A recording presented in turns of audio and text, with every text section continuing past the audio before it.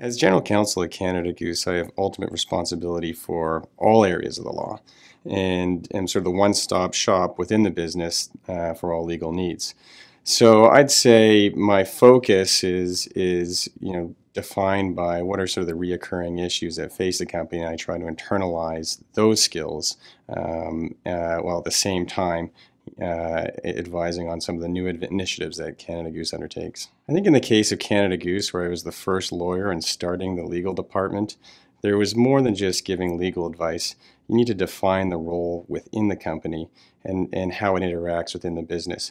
And I think there was an element of sort of proving that you could be a trusted advisor and that involving the legal department at the right time would make any initiative in the, in the company run more smoothly. I see the role of in-house lawyers continuing to increase.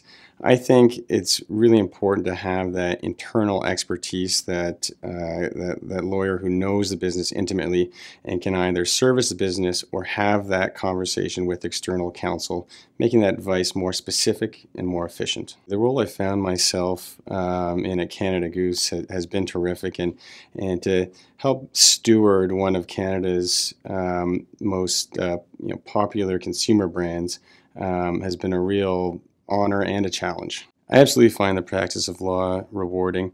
At Canada Goose, I'm able to help the company with new initiatives all the time, which means it's a constant challenge and really um, find it um, helps with personal growth and as well uh, rewarding and helping the company achieve those goals. As the first lawyer at Canada Goose, there a lot of thought went into how do I interact within the business.